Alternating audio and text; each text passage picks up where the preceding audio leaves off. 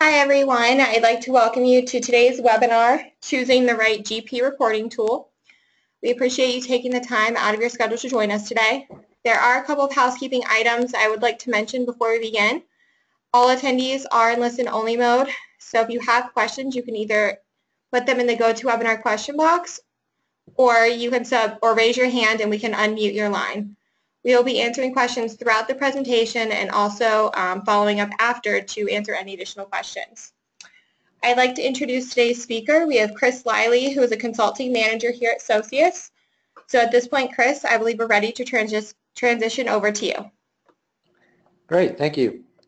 Uh, so good afternoon, everybody. Uh, got a pretty jam-packed uh, presentation here for you today.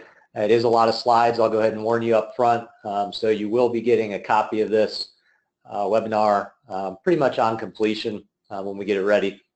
Uh, the agenda for today, really we're going to cover four main topics. One is reporting trends.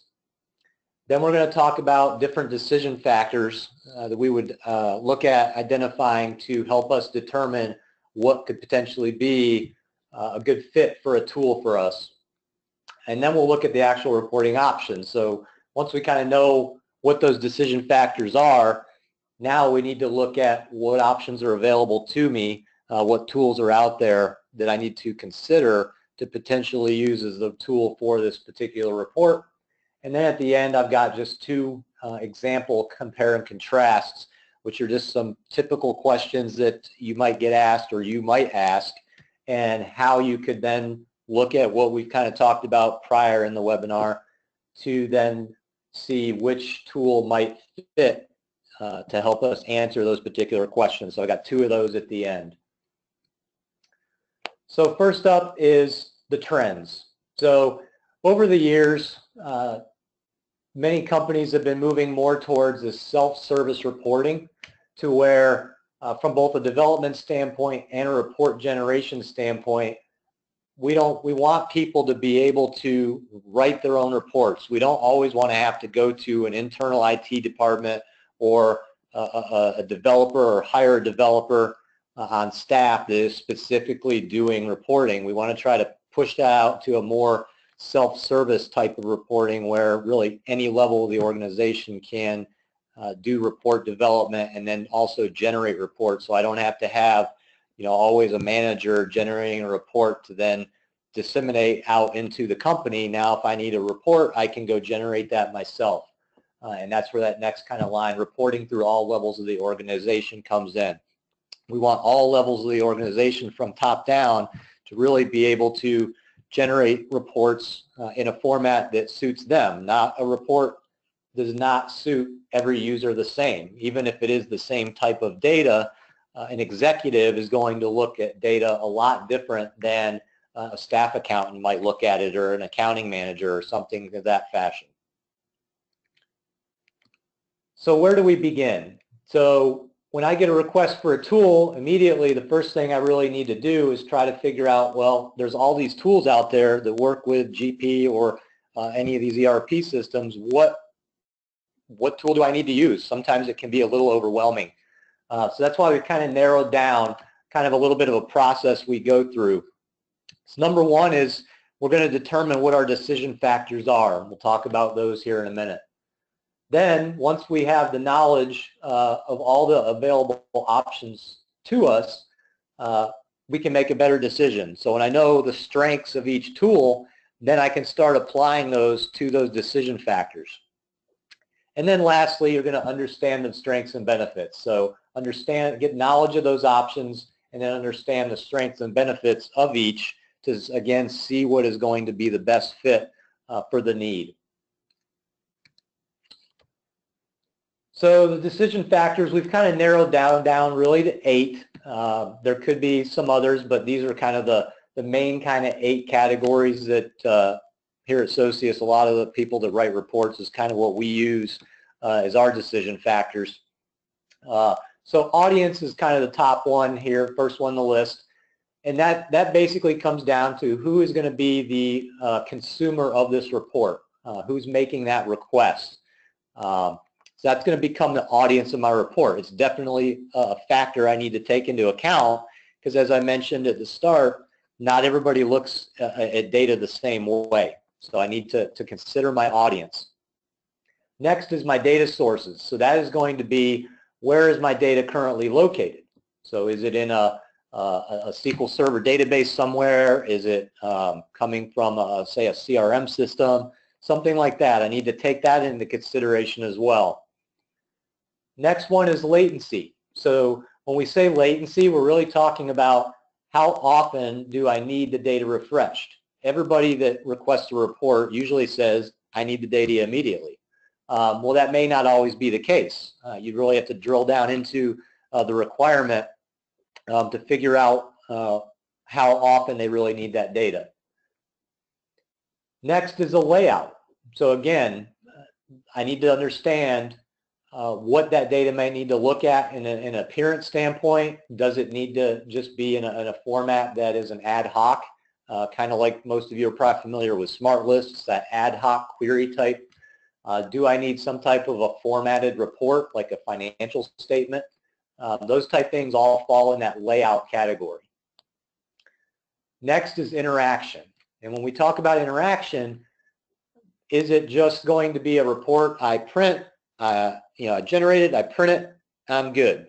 Uh, or do I need to have some user interaction with that? Do I need to have some level of drill downs into that report to drill down into some further detail from a summary level? Do I need to have the ability to export that report? Do I want to interact with the report as far as maybe filtering uh, the results of that report down so that I'm not generating a tremendously large amount of data when I'm really only looking for a specific piece. So all that kind of comes into interaction uh, with the reporting. Next is security. So I obviously have to uh, determine what the audience is to that report, but then also how, what kind of security do I need to that? Do, is the report only for internal purposes? Uh, am I going to have some external source, uh, maybe auditors that come in that you give access to your system? Well, do they need access to these reports? So I've got to also take into consideration the security model I'll need in place um, to determine potentially which tool I need to consider. Next one is infrastructure. So with that one, I need to really understand what the infrastructure I have in place is. Will it support the different tools that I may be considering? So do I need to have a, a separate reporting uh, server set up somewhere to uh, support this, this report I want to do? Or is GP uh, just enough? So we'll talk about a little bit about that. And then the last one is proficiency. And when we talk about proficiency, it's really how easy can that report be built uh, with an internal resource capable of making adjustments to it if needed. Again, so I don't have to always go back to a developer and say, I need you to add uh, another column to this report, and it's this big, long, drawn-out process to get a developer or uh, hire somebody to come in and, and do a contract work to modify a report. We really want to make sure we consider how proficient uh, the proficiency level uh, of the tool we choose.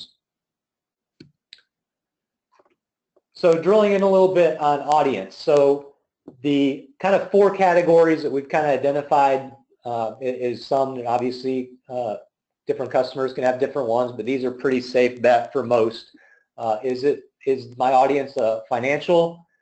Is it maybe operational uh, that I need to consider? Is it executive level or is it some type of an external audience? Maybe, like I said, auditors, or I need to generate uh, a report that I need to send off to a bank um, for funding or, or something of that nature. So those are all going to be examples of, of uh, considering what my audience of the report is going to be. The next decision factor was data sources. So again, we've got to determine what the source of that data is going to be. And we've got some examples on here, GP SQL tables, obviously, different SQL databases, examples of CRM and a data warehouse. Uh, is, is it coming from a custom table or a SQL view? It could be, uh, you know, some custom view that you've had written for you to combine some data. Uh, is it a web server? We've got Excel files on there. So a lot of different sources of data that we do need to uh, take into account when we're trying to figure out the tool to use. Next category was latency. So this drills into latency a little bit more and kind of shows you a breakdown uh, of kind of what we consider the, the three latency levels. So first would be that real time, which again is what most users always say their data needs to be. And that's no latency at all. It, it, I generate the report, it's instant, uh, and the data is up to date as of when I ran that report. Next level down from that is what we call near time, and that is where I can refresh uh, or my data gets refreshed at a regular interval. That might be every 30 minutes. It could be every two hours. Uh, it's typically less than a, day um, that I've got these regular intervals that my data is getting refreshed. And then the last one is what we call sometime. And that might be where uh, it's not a regular interval, it's a set interval to where every night I know my data is going to be refreshed and the next day I've got a new set of data. So those are the three levels of latency that we, uh, we think about. Next is that layout category. So some examples here would be, is it just a, a GP window, uh, if we're looking at like a, an inquiry window or something like that? Uh, do I need to have uh, formatting? And some examples of that would be, do I need lines on my report? Do I need boxes, any type of shading? Anything like that is formatting of a report. Uh, do I need to include subtotals? So, uh, you know, do I need subtotals by customer, by salesperson, whatever I, I, may be generating that data for? Do I want to include visuals? So things like charts and graphs. Do I want to be able to do that on this report uh, for the data set that I am writing the report on? Or do I just need simply a grid of data uh, that I might just dump out to Excel and, and perform my own uh, analysis on uh, with pivot tables or something like that. Next is interaction. So that would be, uh, again, do I need to have the user be able to interact with the report? So left side is, is just a, a little option drop-down box. So maybe I've got a couple different options of how this report uh, can run or generate uh, filter the data that's in the, the report with, with doing a drop-down or a parameter type report. Uh, and then some other examples would be drill throughs. Uh, do I need the ability to trigger off a data refresh right there while I have the report open? Uh, and then again, chart and graph, uh, chart and graph creation. Those are all interaction type things to think about. When we talk about security, there's really, we've broken it really down to three levels. Uh, one is GP. So uh, for all of you running GP, you have a GP login. That's going to give you security to a, a lot of tools inside of GP, but also some reporting outside of GP uh, that might use SQL level reporting um, because that is uh, a GP user is a SQL user. So you've got that type of authentication. Then you have Windows authentication, which is the login you use every day when you come in and sit down at your computer and log into your computer. Uh, that is your Windows authenticated user, and that again can also be used to uh, authenticate you to different reporting tools. And then finally, we have a category called outside licensing, uh, and that would be for services like the Power BI uh, service, uh, any of the tools that are um, cloud-based where you actually have to do a separate login that you're kind of outside your network. Now that is using some type of outside licensing. The next category is infrastructure. And drilling into that a little bit, we've really broken that down into, uh, we've got five examples here, and that would be, uh, is the report that I'm going to be using, the tool I'm used, is it just inside of GP? Uh, in that case, it's in your existing infrastructure. You really don't have to do anything uh, new hardware-wise. Uh, all the infrastructure is in place. Do I need a reporting server? So uh, in, in, circumstances where maybe I don't want to uh, impact performance on my GP server, I might think about maybe I need to have another server over here that is strictly used for reporting. Um, so I might need to expand my uh, server infrastructure to accommodate any tools that I might want to set up a, a separate reporting server for. Same thing kind of goes in place for analysis services. If any of the tools that I decide to use rely upon analysis services, I need to make sure I have that uh, installed in my environment and potentially uh, the same thing as a reporting server, I might need to have a, a separate server that houses that analysis services engine. So again, I don't impact performance on that production uh, GP server. You can also, if you're just doing open database connections, so if I have a, a, GP server and a CRM server, two separate servers, I need to make a connection between them. That would be an ODBC connection. So I just need to make sure from an infrastructure standpoint, ports are open, firewalls allow that connectivity, things like that. And then finally, web services. So any, any time that I might need to use any type of uh, tool that is going to rely upon web services or connecting to a website, uh, something of that nature, I definitely need to consider that when I'm thinking about the overall infrastructure uh, environment.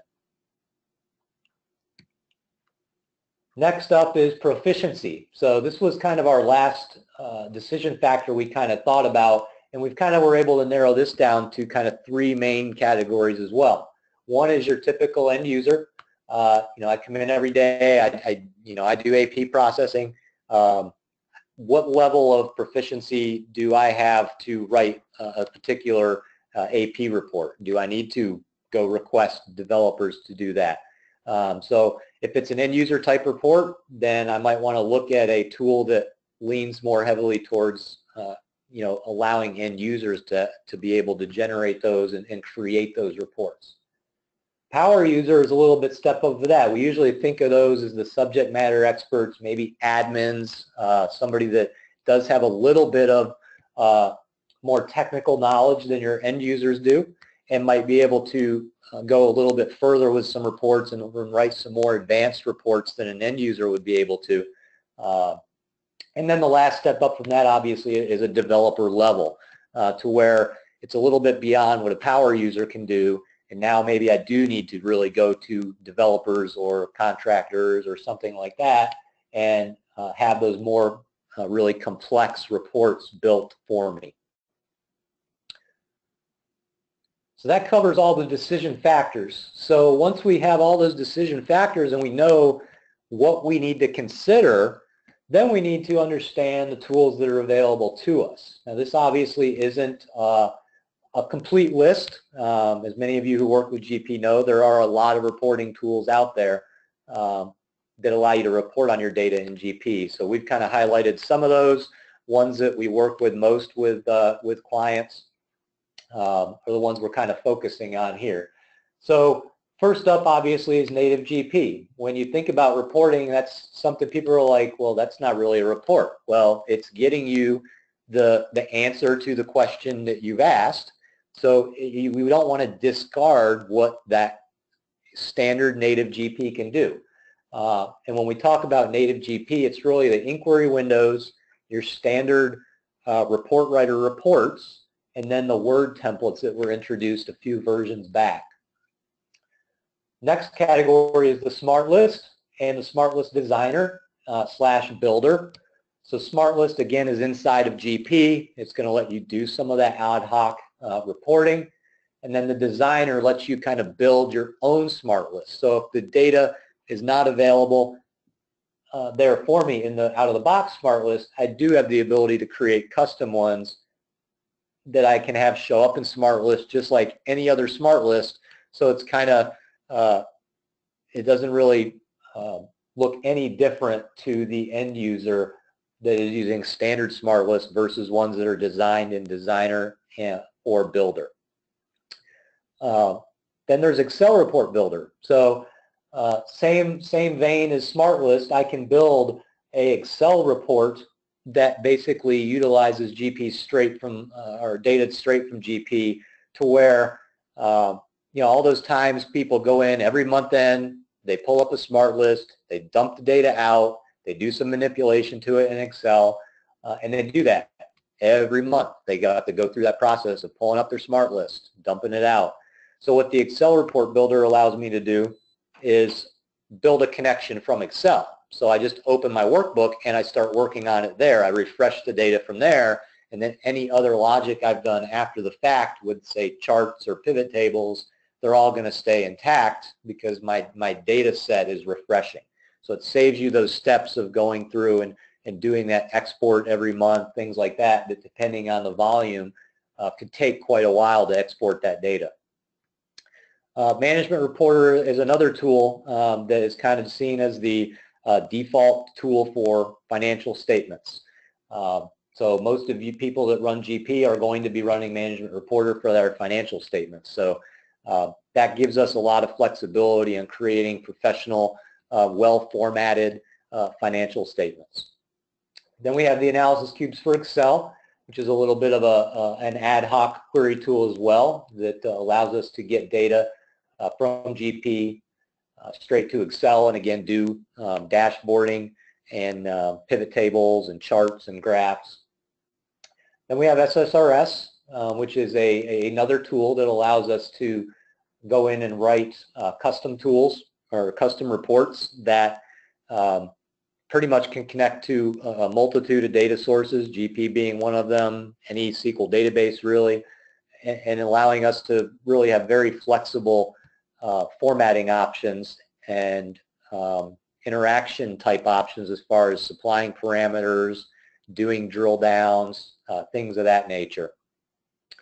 Uh, and then Business Analyzer is just kind of a, uh, for any who haven't seen that, it's just an extra add-in install to Dynamics GP that basically lets you point to uh, multiple KPIs or charts that you may have in SSRS and it just kind of cycles through them uh, kind of like a dashboard. If, if any of you have activated that on your home page in GP, you're kind of familiar with what I'm talking about where it cycles through uh, those different little metrics and, and uh, charts that are uh, included. And then the last option we're really talking about is Power BI. And again, it's uh, another dashboarding tool. The great benefit to the Power BI option is it is going to allow you to take a lot of these things mobile.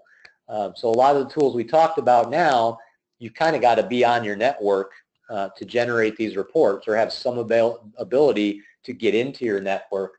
Power BI is one of those outside services. So I can log in uh, just like I would be logging into like my Outlook uh, Office 365 account, uh, and then I could view that data, and I could do that on a an iPad, a Galaxy device, uh, the Microsoft uh, tablets, um, the Surfaces, the you know even on my phone, I can pull up my Power BI reports if I need to while I'm on the road, view you know view data or dashboards that help me you know keep track of what's going on. So now drilling into each tool, kind of how these are, are designed, you'll see a slide like this for each tool. Uh, I'm obviously not going to, for time's sake, not going to read every single block that's on these. Uh, but basically what each tool, what each slide does is break out our uh, decision factors. You can see audience, interaction, and so on, and then fits in uh, what kind of that is good at. So from an inquiry standpoint, for, for uh, demonstration here, you've got financial and operational, because those people normally are in GP anyway, if they have a need that they're asking a question that can be answered there, they can get that through the inquiry window. There's drill back links. So from an interaction standpoint, I can drill back um, all the way back to my source transactions in GP because they're all linked together.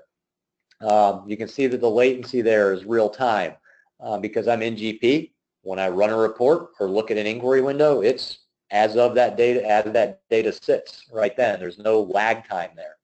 Uh, and then obviously the proficiency user is your typical end user who's, you know, your day-to-day, -day, they're getting into GP. They're very familiar with it. Uh, they know how to navigate uh, the system. So it's a very quick view to that data. And sometimes it's just one that gets discounted uh, when people think they really do need a report. Um, and, when, and when us as report writers can then question, well, do we really need to write a whole report for this when the data is kind of right there for you? Um, so it's just something to think about and, and something to ask uh, when you get requests for reports. The next area of GP is those standalone, uh, out-of-the-box report writer reports. Um, for many of you who've been on GP uh, for a long time, no, they haven't made very many updates to that, and they're they're not the prettiest looking reports. uh, but they do a lot of times present the information that is needed. So if it's not where I need, uh, you know, a really nice laid out report, I just need the information, potentially running those out of the box reports is going to give the user what they need without spending, you know, an investment in writing a, an elaborate, pretty report to provide them the same exact data. Um, so again, you can see there those uh, the boxes. And like I said, you, these slide decks will be available, um, but you can just see the ones that are kind of jumping out a little bit different.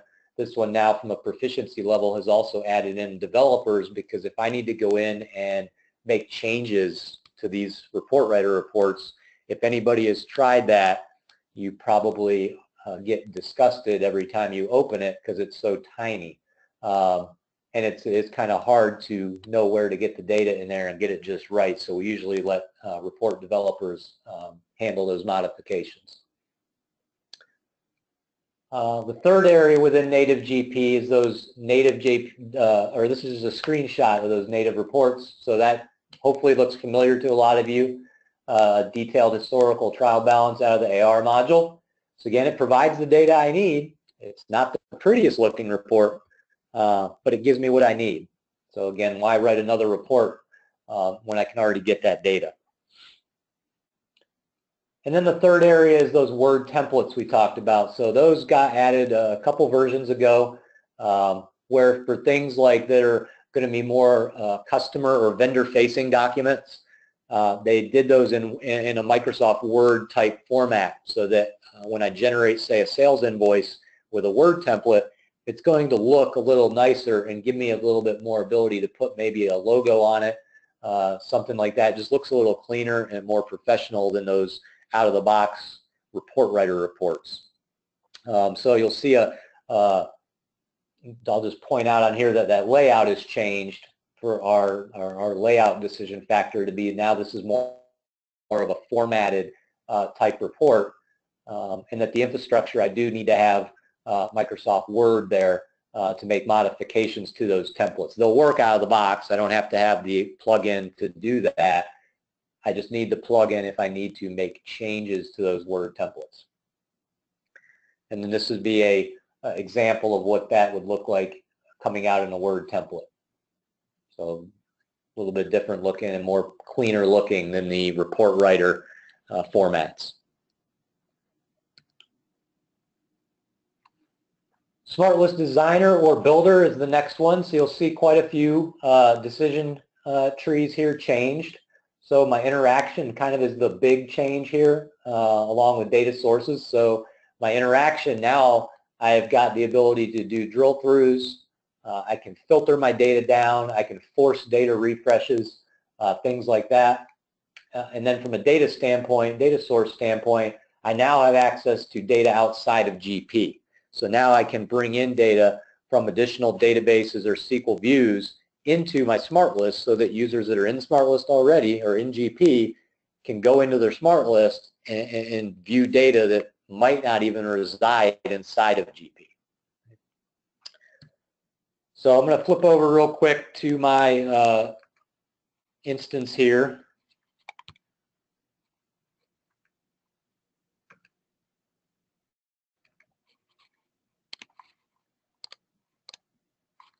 So once I'm inside of GP,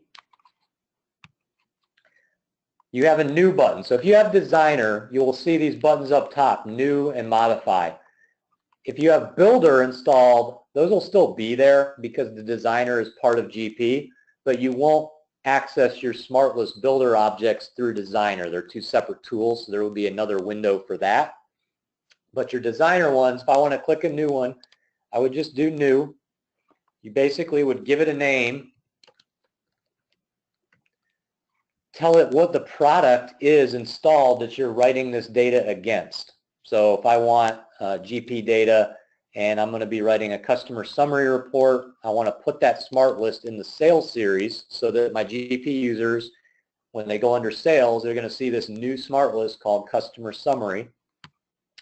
You're then going to drill into your database view here and find your customer table. So The good thing about this is it does a pretty good job of putting a friendly name on these tables. Uh, so for any of you who actually have gone and wrote more complex ones against the SQL database, you know, see those RM 200 whatever tables. For an end user, they're not going to know that stuff. Um, so they did a pretty good job of putting that metadata here uh, that allows me to see my customer master summary table. Okay, so I'm going to go ahead and check that. And then you'll see that up top it went ahead and it selected all of these fields for me. And I can scroll through and if there's ones that I don't want, I would just click them and remove them from the list. So you're basically going through and picking and removing fields that you don't want uh, in that smart list.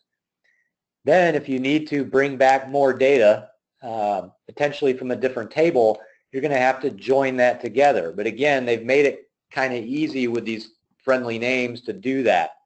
So if I select that my table is my master summary and my customer number, and I want to be able to pull back, say, my customer name, which is not in my summary table, I would join out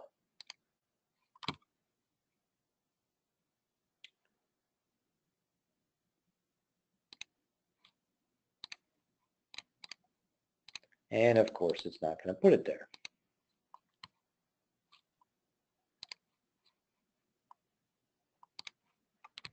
Let's do that. So back to here, customer number.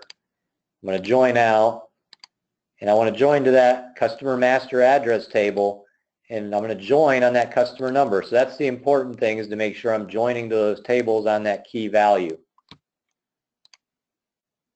Then you do have the ability to filter the data if you want to. So if I wanted to only pull back where my customer balance is more than, let's say, $1,000, I could type that in and it's going to filter back that list. And then to check your data, you simply hit execute query up top. And then down here in the grid, blow this up a little bit for everybody not be able to blow it up. No. Uh, but it'll basically have each column that got returned from that query to where I can start looking through that data. But that'll give you an idea of exactly what the smart list is going to return uh, in the smart list inside of GP when you when you create this. And then when you're done, you just say OK, and it'll add it as a, a new option inside of the uh, smart list in GP.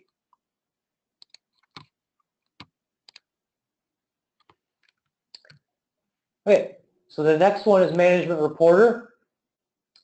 And again, we talked about this one being really the, the, uh, the default tool we're, we're going to use or, or most times go to uh, by default when we need to write a, a financial statement.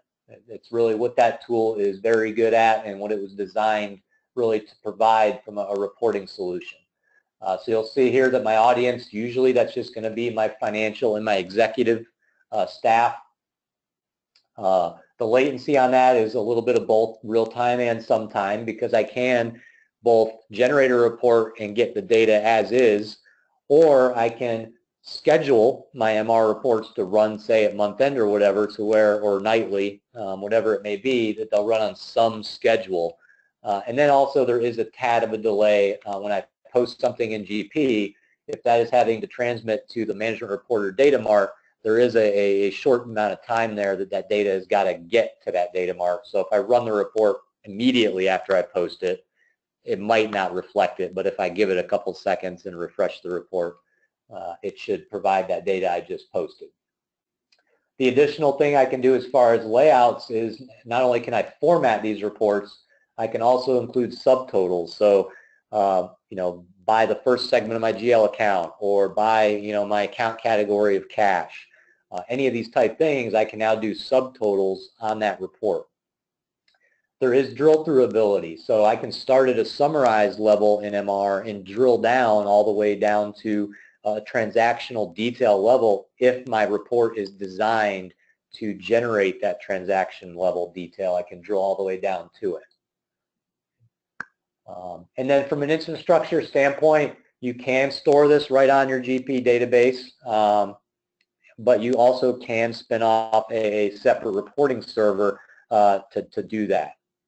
And that's kind of a, from proficiency level, that tool is really a, a meant to be an end user tool, um, usually with, uh, you know, a couple days of training with a management reporter, you know, your typical users are, are going to be able to write these reports and not have to get, you know, developers or IT involved uh, in that reporting process. So let me switch over here again and show you what the output of that would look like. So some of these I've already generated to, to save time, but this is what an output of a management reporter rolling quarter would look like. So you're not really going to get anything out of GP that looks like this. This, this allowed me to do some nice formatting and put uh, the, the three months of a quarter uh, in the left-hand columns there with my account descriptions in the center instead of which, you know, typically users always are used to seeing those descriptions as the first column in a report. So this is a little, just a demonstration of something you could do a little bit different, you know, to add a little flavor uh, to your financial statement. And then on the right, we've got the year-to-date balance um, for the entire year. So three months worth of current and then a year-to-date balance uh, at the end.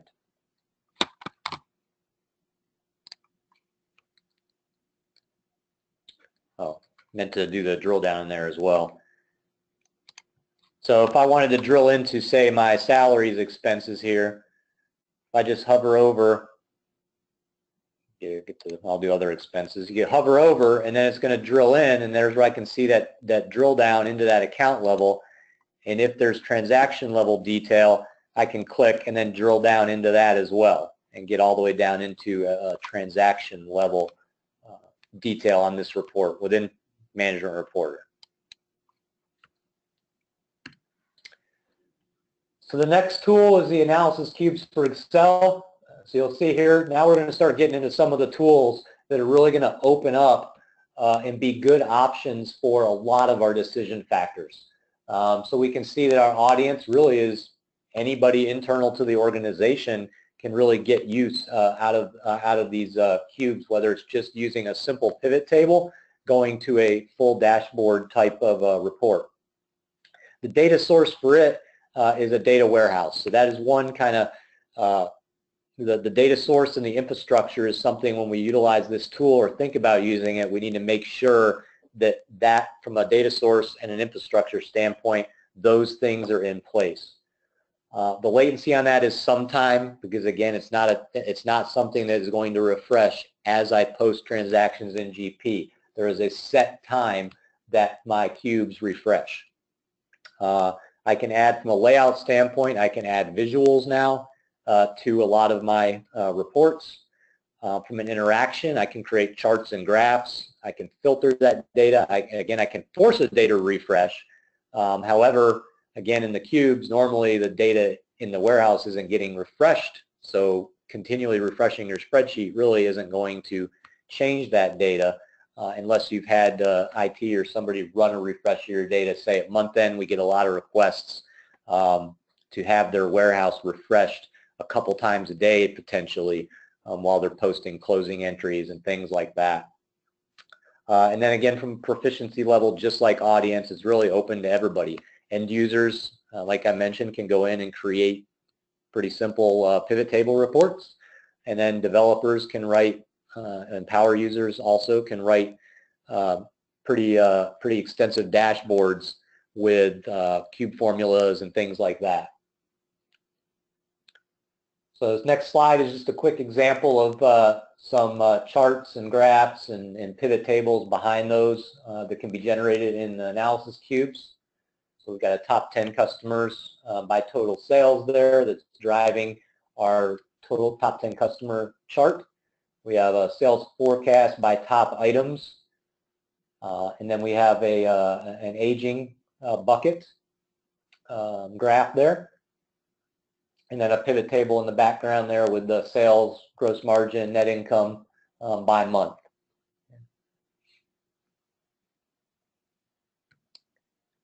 the next tool is the SQL reporting services. So Many of you, this comes with GP now. It has for uh, at least the past three, four versions. Uh, it just might not be deployed in your environment, but you already own it. Um, and there's a way right through GP to deploy it. There's, I want to say, 160 reports that you are basically given uh, by deploying these reports, uh, already built uh, and will run.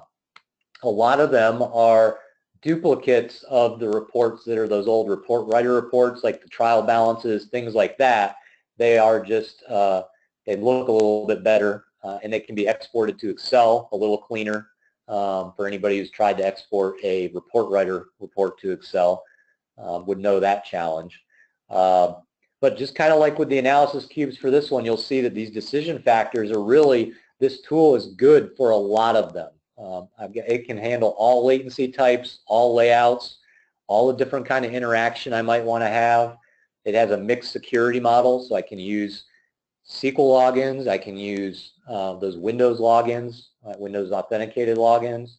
Um, proficiency level on this is going to be a little above an end user. Uh, however, it usually is going to be more of a power user slash developer to uh, create the reports, but then your typical end user can definitely run the reports, interact with them, um, do things like that. Uh, and this typically we do have to have uh, a separate server um, to run on again so that we don't impact um, performance on our GP production server.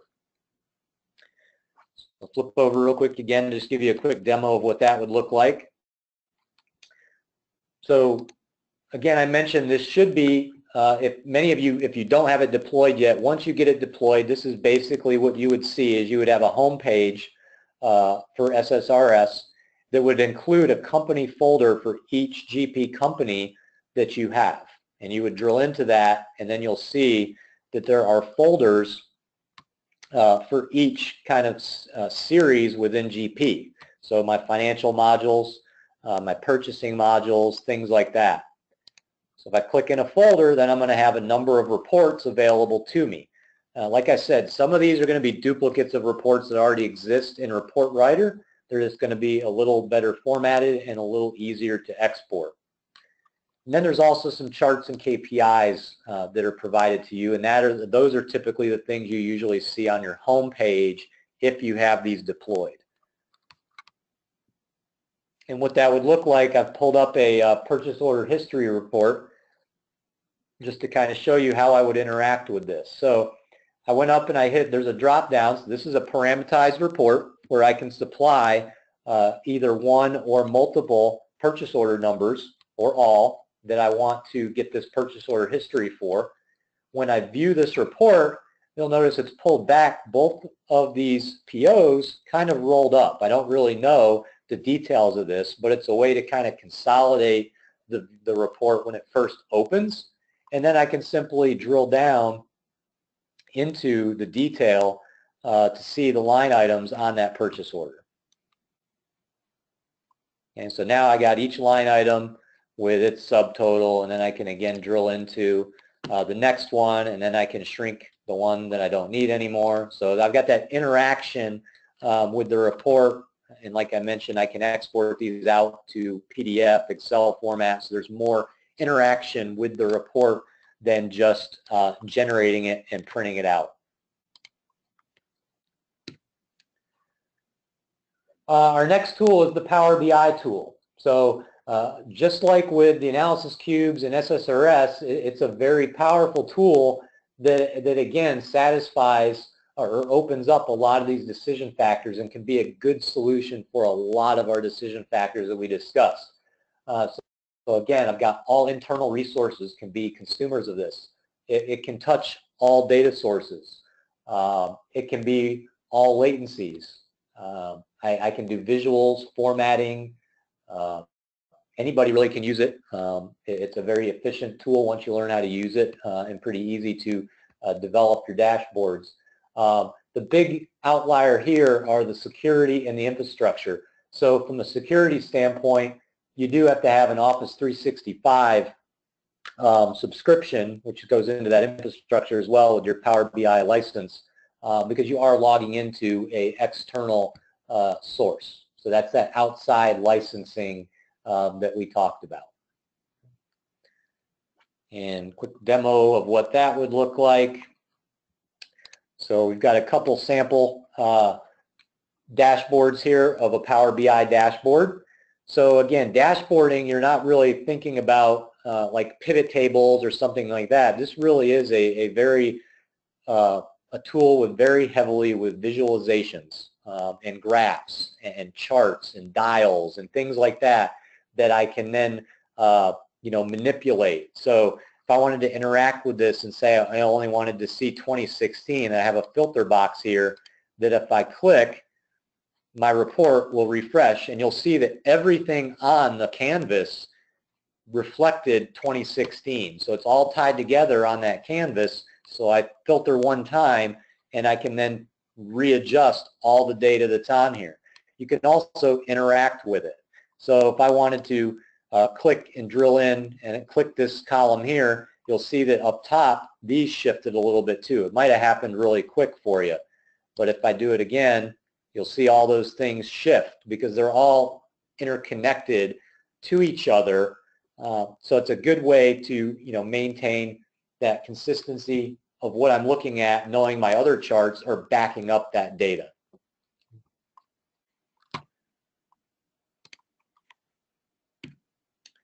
All right, so one other category that I tacked on here at the end is it's not really something we typically consider one of our GP uh, tools when we were thinking about reporting tools around GP, and that's what's called CPM, uh, or, or Corporate Performance Management is what it stands for. So basically, after we think about reporting, the question might get asked, well, what if I need to also do budgeting? Okay, so all the tools you've shown me so far are really just running on my actual data in GP or potentially uh, my financial budgets that I've imported into GP well, what if I need to do a little more uh, budgeting that doesn't really go to my GL accounts, or maybe I want to budget headcount, or uh, I want to now, instead of having one person do the budget, I want to, you know, disseminate out that work and, and, and, delegate it out to my department heads and say, hey, you you budget your department, you budget your department. Uh, that's where these three tools kind of can come in and help uh, assist with that. So they are a combination of a reporting tool and a budgeting tool. And the three that we partner with uh, are Adaptive uh, Insights, BI360 from Solver, and then DeFacto from DeFacto Global. And I just got a couple quick slides to just give you some screenshots of what that might look like. So from an adaptive planning standpoint, you have what looks like a, a grid sheet here. Uh, and what that's going to do is I can have actuals pull into this, but I can also have sheets uh, that allow me to data do data input. So again, if I'm trying to budget um, for like this screenshot has personnel assumptions. So if I'm trying to budget out by month uh, how many uh, headcount that I am going to add, uh, I can budget that out, enter it directly in here, uh, and then use that in reporting in this tool that will allow me to combine it kind of with data coming out of my actual ERP. Uh, BI360 does uh, a similar, it's another CPM tool, similar type thing. It allows me to read actuals um, and also uh, do uh, the budgeting standpoint. So again, I can read data from GP but I also have the ability to input data into uh, uh, templates that then save that data back to their data warehouse, the BI360 data warehouse, so that I can do the same thing. I can do actual versus uh, budgeting data uh, reporting uh, inside of this tool as well. And then the last one that we uh, I mentioned that we partnered with is DeFacto. So again, it's just another. They all look kind of similar. They're all grid-based looking. Um, but it all accomplishes kind of the same thing. I can get actuals from my actual financial data, and then I can use the budget amounts from amounts that I am keying into this tool, um, or my department managers may be keying into this tool.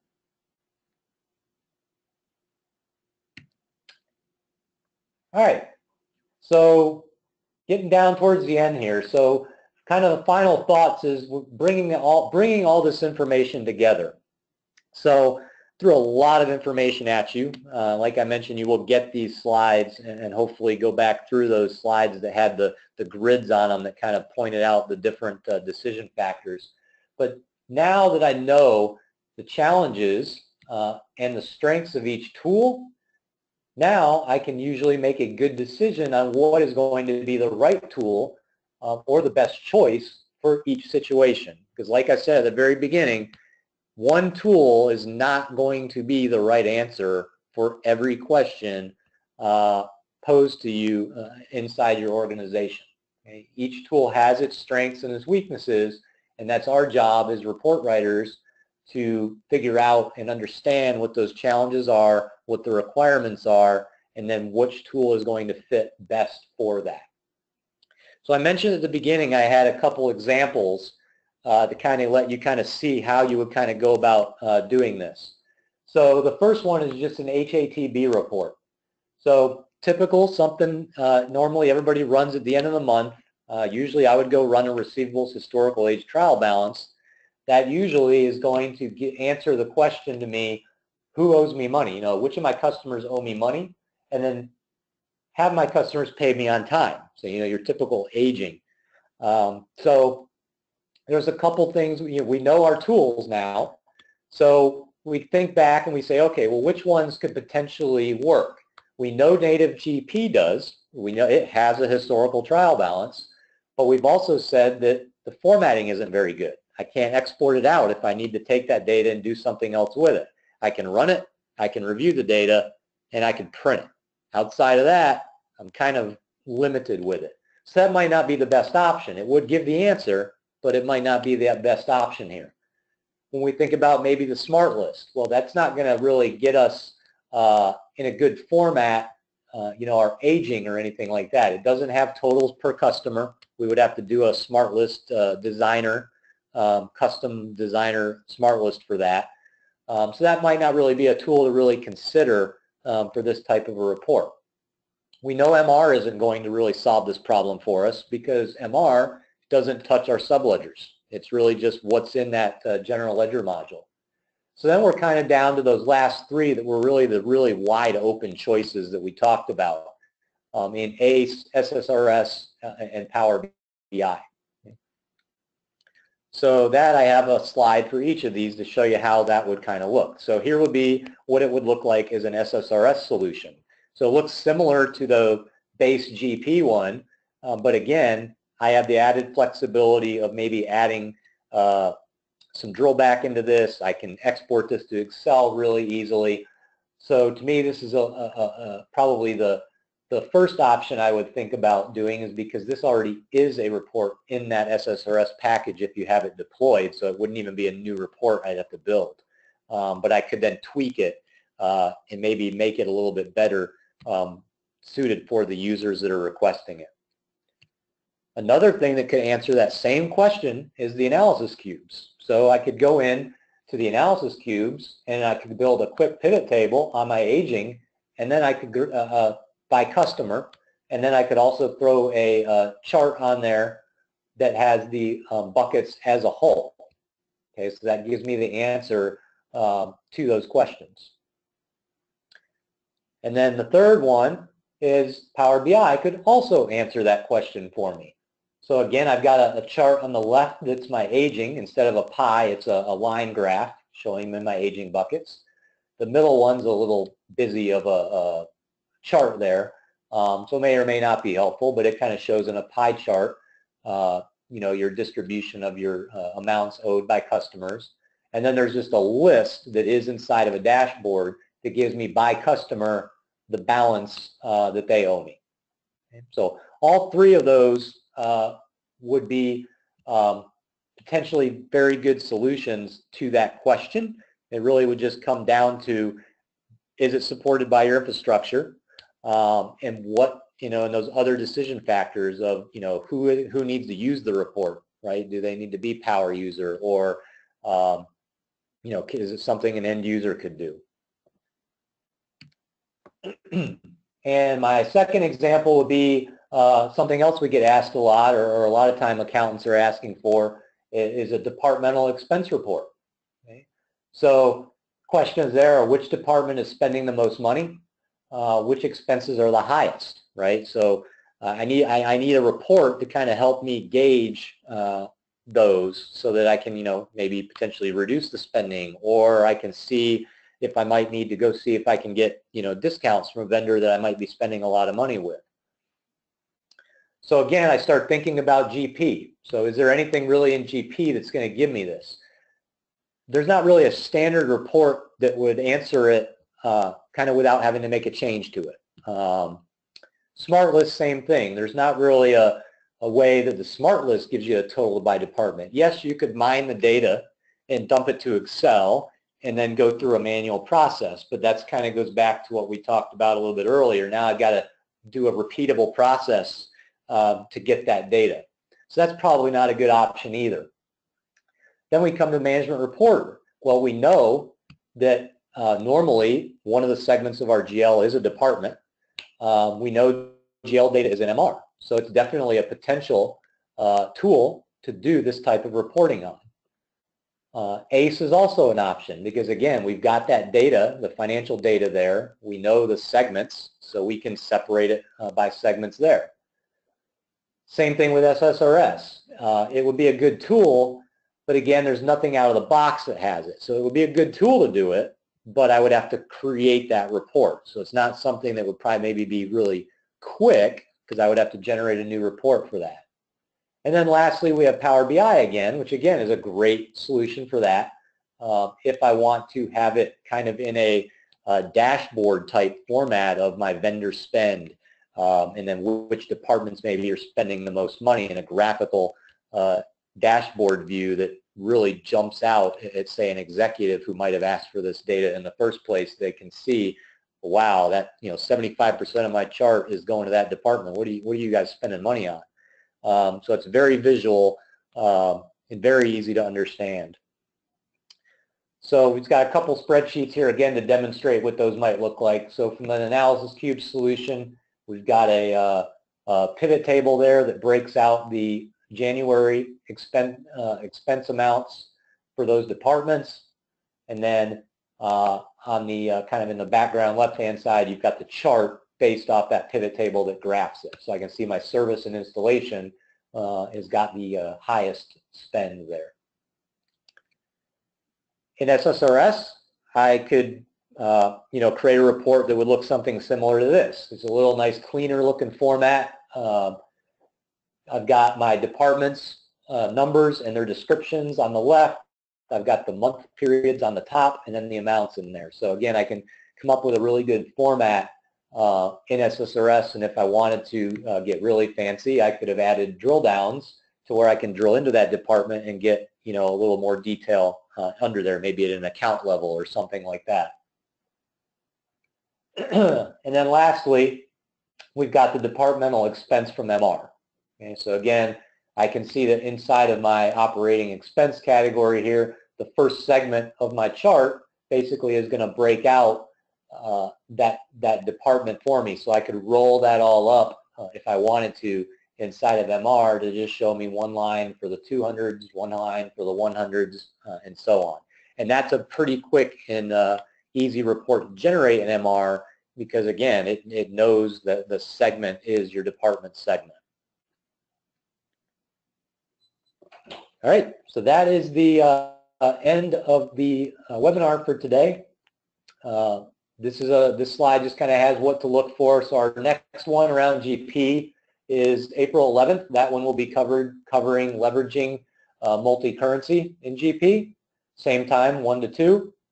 We have our Aspire client events. Those are coming up uh, May 9th in Columbus, Ohio, and May 16th uh, here in Atlanta, Georgia. Uh, registration is open to that. Uh, most of you probably started getting the uh, registration invites um, for that in an email or somebody in your organization has been. Uh, and then obviously visit our website to view the remaining webinar series for 2017. And I have a slide at the end as well that has my contact information um, so that when you look at the slides, you don't have to scroll all the way back up. So at this point, we can take uh, questions, Lindsay, I guess. All right. Um, the first question that we have is, of the three budgeting tools that you mentioned, which are the which are the ones you've implemented the most?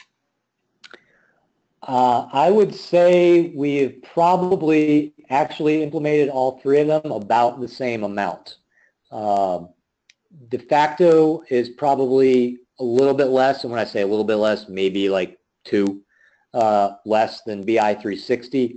And then um, we have just started really doing the adaptive. We partnered with them last year. They were doing a lot of the implementations themselves, uh, but we have staff now that can do that. And I think we are on like our fourth or fifth uh, adaptive uh, deployment. Great. That is all the questions I have. Um, if you do have any other questions, you can reach out to Chris. Um, but if not, we will end for today, and thanks everyone for joining. Thank you.